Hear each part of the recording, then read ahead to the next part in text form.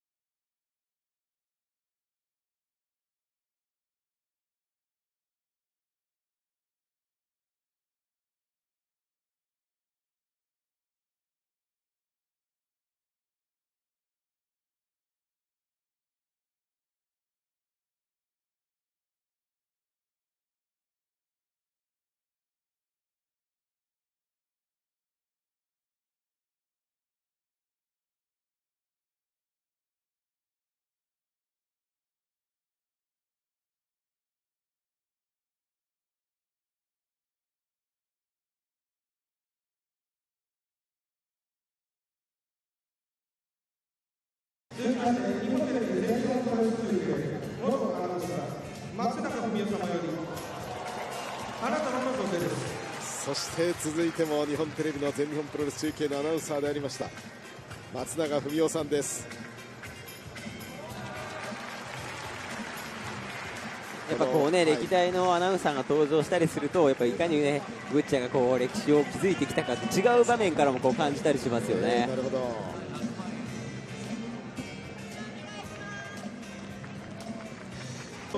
そしてミル・マスカラスのスカイハイを選曲したことでも有名であります日本テレビの当時のこの中継のディレクターでありました梅垣進さんです。いや何かこのというところでありブッチャーの引退というところでねこういろんな方がこうね来ているというのがねやっぱりこう歴史を感じますよね。ね。おっとひときわ大きな歓声が沸き起こりました。日本プロレスの中継アナウンサーを務めておりました、おなじみ徳光和夫さんです。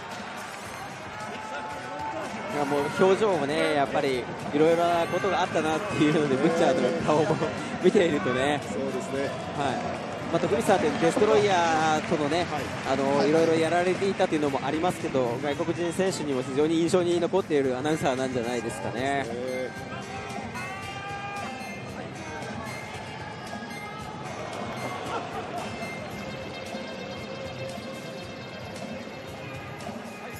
ブッチャーに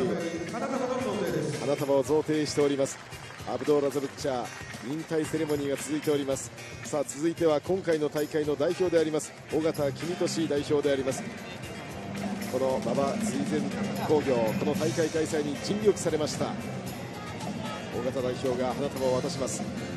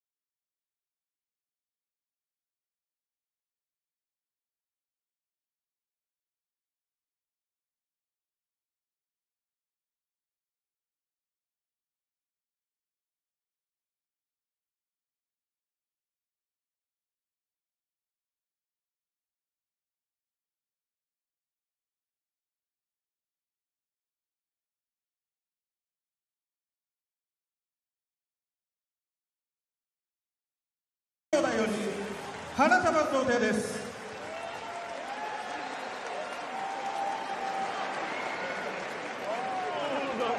やっぱりこのねマスカラスブラザーズとグッチャーの戦いというのも、今の全日本プロレスの歴史を彩った戦いですよね。やはりこのブッチャーという選手の魅力を語る上でいろいろありますけれども、やはりこの外国人との指導というのも、このブッチャーのね、はい、一つの真骨頂でしたよね。あ本当そうですね、やっぱりこうね、流血戦というのは一つの代名詞でありますし、こう華麗なファイトを見せる選手がいるその対局という部分でもね、この欠かせない存在感を発揮してきましたからね。早くもエモーショナルな瞬間が訪れております。構想をかつて繰り広げた日本中を震撼させた。このマスカラスブラザーズが今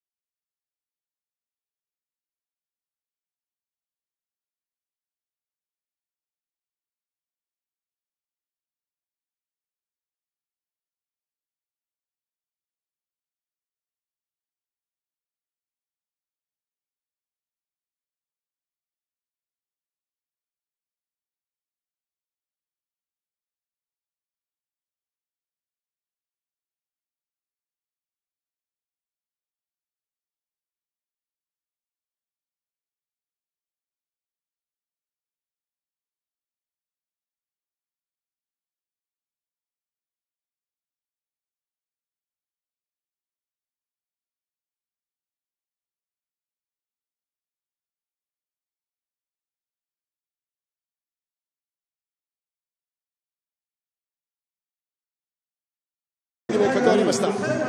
新馬久志そして初代タイガーマスクであります。いやここもね本当にスーパーヒーローとスーパーヒールという顔合わせですよね。まあ当時はですねこのテレビのスイッチを押すとこの2人がね、うん、ゴールデンタイムに出ていましたよね、はい、そうですね、えー、そして元新日本プロレスの営業本部長でありました新馬久志。いわゆる世に言うブッチャー引き抜き事件。やっぱそういうのもプロレスの歴史ですからね、ね。これがねこうこの馬場さんの大会のもとにねこういう顔合わせが実現しているというのもプロレスのこの懐の深さの一つですよね。はい、はいいやすごいスリーショットであります。新馬久志初代タイガーマスク。あの新日本の金曜8時金曜8時伝説を彩りました。その仕掛け人であります新馬久志と初代タイガーマスクが。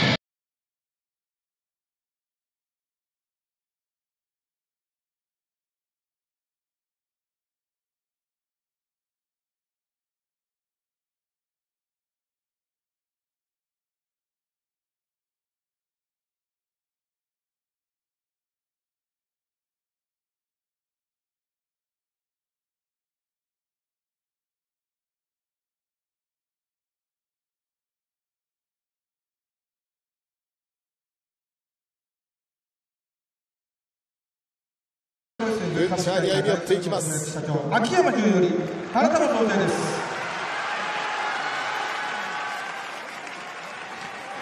まあ、やっぱ秋山選手もね若い頃にはやっぱブッチャーと洗礼を浴びた一人ですよね。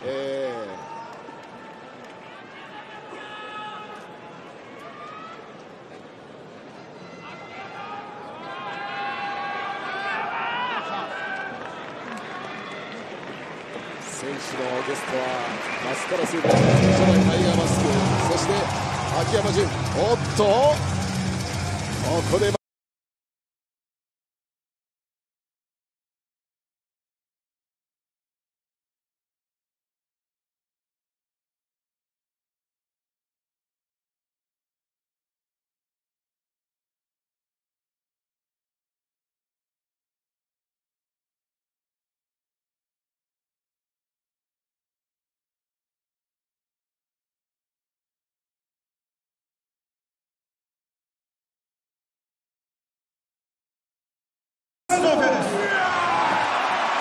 ブッチャー立ち上がってます。よね。そうです。ね。ブッチャーが思わず立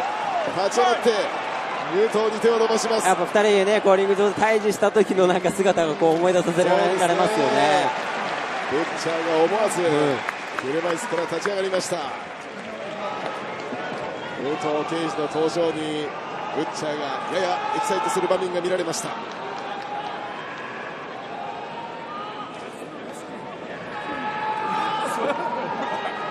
しかしこのブッチャーの笑顔というのが非常に印象的ですね、はい、やっぱりこうね一つ一つの場面というのがブッチャーもこうね選手が出てくるたびに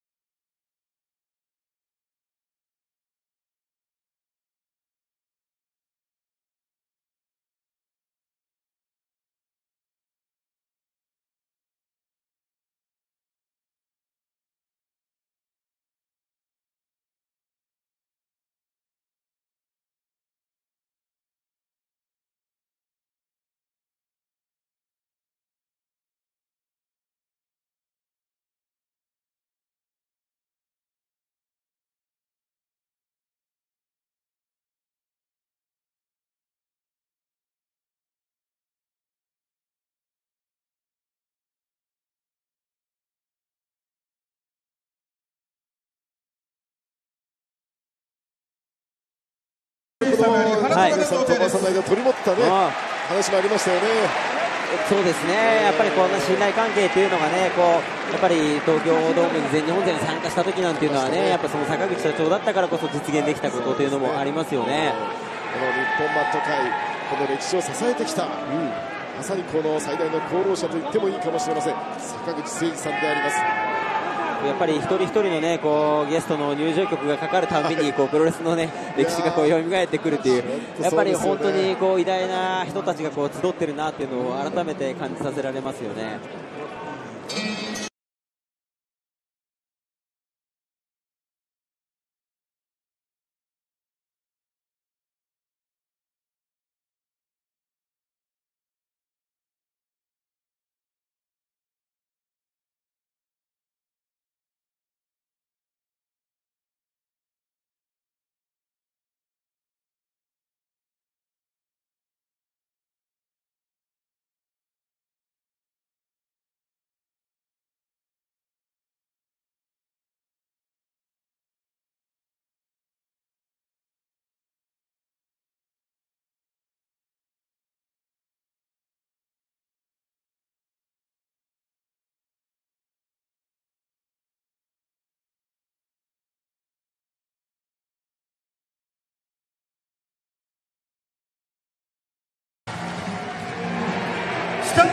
より花束の贈呈です。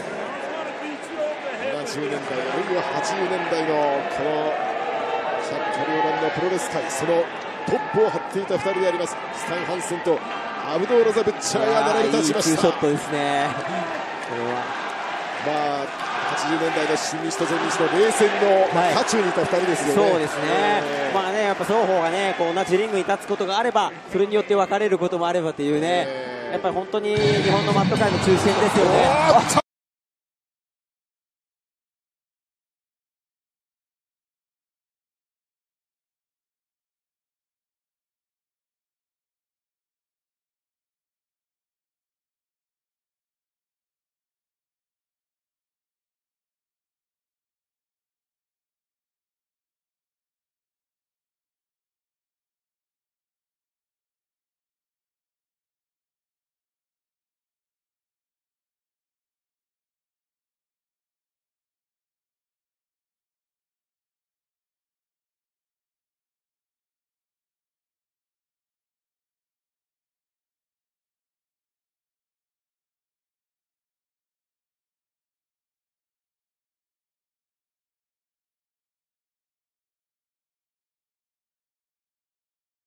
日本は多いんじゃないでしょうか。そうですね、あのね、年末のタッグリーグっていう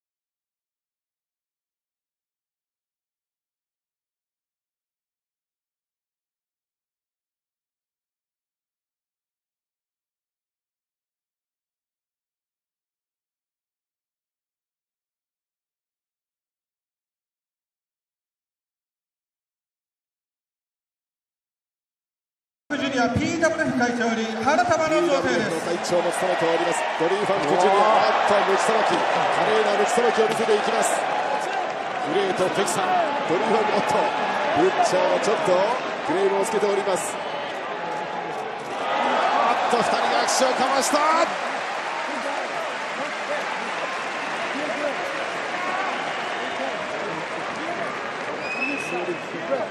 ハンクスとねこうブッチャーの戦いっていうのは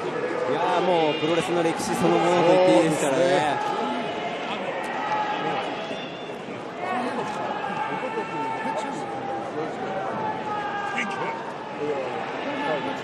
戦いから1977年でしたもう40年以上続くんですが全くあの場面が色あせることはありません、はい、いやもうこう今ねこう映像なんかで見ても興奮する試合ですからねあの試合というのは本当にそれが40年以上前に行われていたというのがすごいですよね、え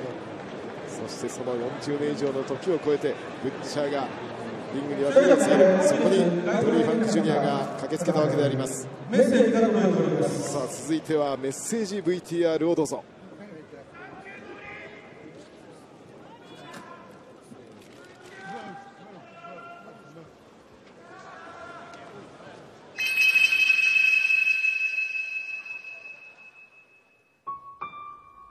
ここでザ・デストロイヤーさんよりメッセージでございます。アブドーラザ・ブッチャー。まず私の長き修正のライバルであるブッチャー。引退セレモニーに参加して直接話すことができずに残念だ。本来であれば会って話したかったがドクターから長距離のフライトは禁止されているのでザ・デストロイヤー。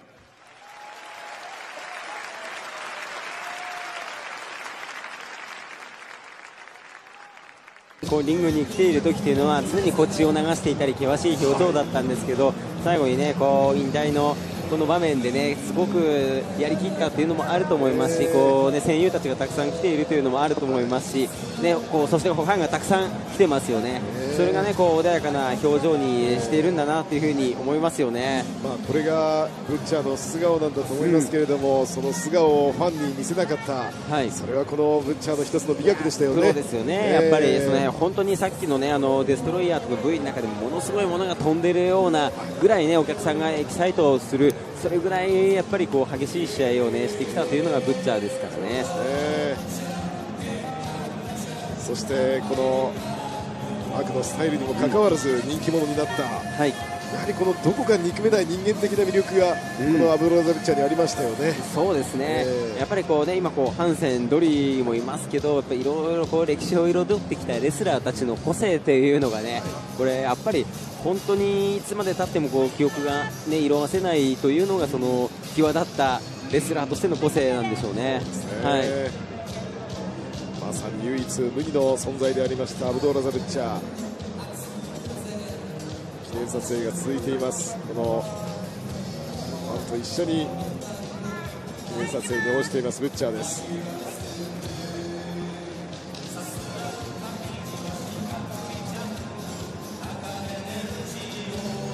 でも佐久間さん、はい、この今、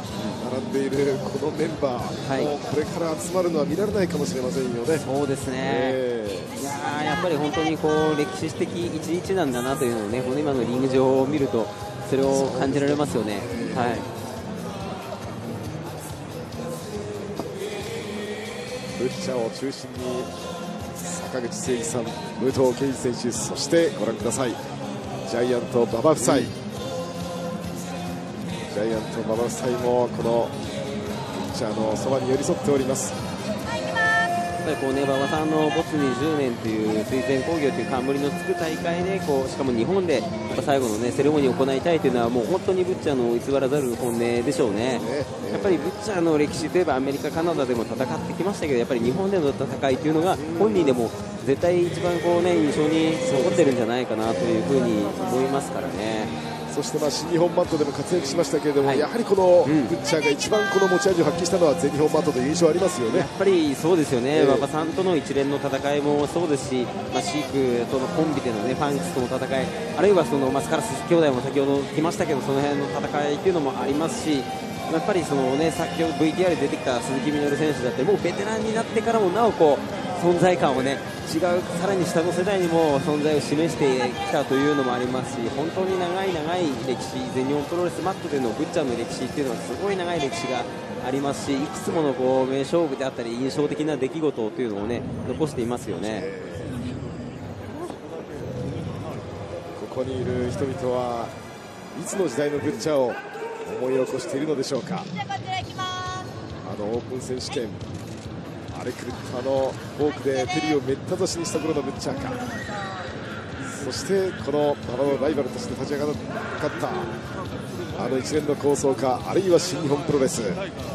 電撃移籍の時か。あのフォーク攻撃っていうのもね、こう代名詞になりましたけど、当時でいうと、やっぱそういう反則をするというのはやっぱりなかったわけですよね、今ではこういろんなデスマッチアイテムなんていう言われ方もしますけど、当時、あのフォークを使って人の腕をぶっ刺すというね、普通ではありえない行為をした、それを一線を越えるようなねファイトを見せて、やっぱりこう嫌われ者になりつつも人気者になっていったというね、本当にプロレスの歴史ですよね。特にあのザ・シークとの仲間割れ、うん、その時のこのぶっちゃいの声援はねすごかったですよね。本当そうですね、えー、そして新日本ではあのバッドニュース・アレンらと、うん、軍団も結成しました。そしてあのハルク・ホーガンらと激闘を繰り広げたこともありました。でも改めて見るとこの昔の外国人というのはすごい個性を持ってますよね、みんなね。はい、えーやっぱこうねそういう選手にまたこうね出てきてほしいなっていうのは、ね、こういう場面を目にするとね余計にそういう印象が強くなりますよね。外国人天国だったこの昭和のリーグそのトップ中のトップでありましたアブドーラズ・リッチャーそしてドリー・ハンク・ジュニア。2人が改めて今一度握手を交わしました。ちょっとドリーも名残惜しそうですね、うん、そうですね、えー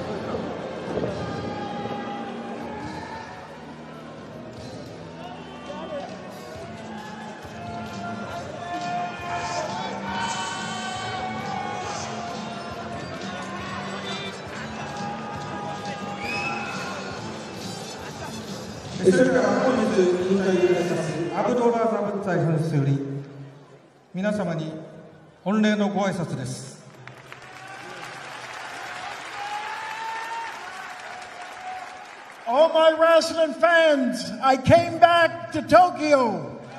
ファンの皆さん、帰ってきました。There's only one thing missing. I wish that giant Baba was still here in the ring with us. 一つだけ足りないことがあります。ここにもうジャイアント馬場がいてくれればこれで完璧です。And my, my main person is Honest John, who was a good friend of mine, died three, three days ago. I wish he was here, but what can I say? 3日前にマネージャー僕のマネージャーでもあり長年の友人でしたオネスト・ジョンが天国に旅立ちましたそれもすごく寂しくて本当は一緒に行きたかったんですけどまあしょうがないです I got three friends who came from Korea to see me and the first person his name is Reverend Kim Thank you sir thank you for coming I appreciate it. Thank you. 今日は韓国から親しい友人が3人わざわざ駆けつけてくれました。1人は神父様で、えー、牧師で、えー、キム神父様がわざわざ韓国から来てくれました、僕のために。I want all you young kids out there to make sure that you do not put your mother or your father in a home. When they get old, you're supposed to take care of them and make sure because one day you'll get old and somebody will put you in a home. Remember that. 若い人たちに言いたいです。自分の親が年取っても決して老人ホームにぶち込んで忘れるようなことだけはするな。いずれはお前らだって年取ってそういうことになるんだからちゃんと親を大事にしろそれだけが言いたい!忘れるんじゃないぞ Remember that and don't ever forget it. And I want to say again, a good friend Reverend Kim, I'm very happy for you to come here, and this is the man, Reverend Kim, who made me the robe. Thank you. Thank you. このガウンを作ってくれた Thank キ you, ム. Thank キム神父様 everybody. に感謝したいです Thank everybody. 皆さん本当にありがとうございました Thank you. Thank you. Thank you. Thank you. Thank you. Yeah, Thank you.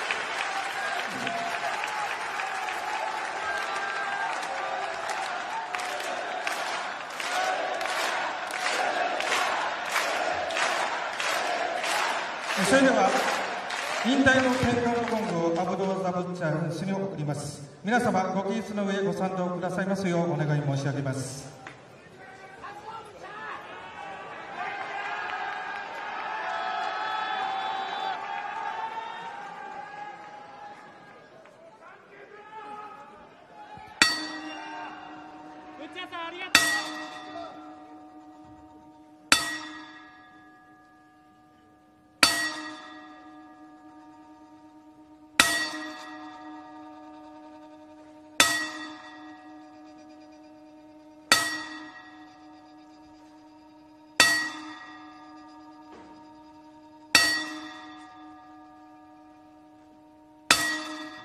350パンド。アブドーラザー・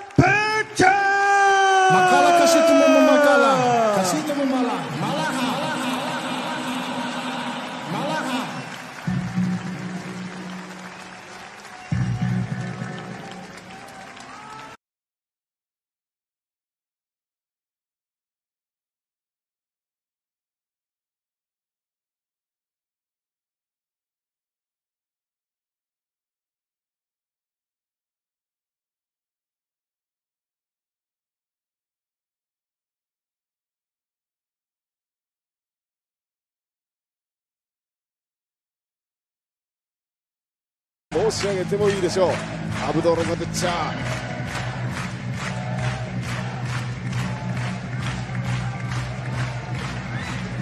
佐久間さん、はい。ブッチャーの最後の挨拶、はい。ありがとうという言葉を何度もね、連呼しました、いやー気持ちがそうですね、はい。本当にねこうあの言葉というのはやっぱり本当に感謝の気持ちいろんな人に感謝の気持ちここにねいるみんなに届けたいというようなものがねまたテレビで見ている人にも本当に伝えたいというのが伝わってきましたよね。えー。まあ、ブッチャーは日本に初めて来た時は、さほど注目される存在ではありませんでした。それを認,、めてくれたこの馬場さん、そして日本のファンに向けたそういうありがとうでもあったのかもしれませんね。はい、もうやっぱそういう気持ちですよね。どんな時もこのアブドーラザ・ブッチャーのイメージを崩さないプロフェッショナルでありました。アブドーラザ・ブッチャーがファンに見送られます、まあ、子供の頃ですね。誰もがこのブッチャーの地獄好きの真似をしましたよね、そうですね、えーやっぱりこう怖いブッチャーを見てね育ってきたというプロレスファンも非常に多いでしょうからね。アブドーラザ・ブッチャー引退。日本のファンに愛され続けた男が静かにフォークを置きました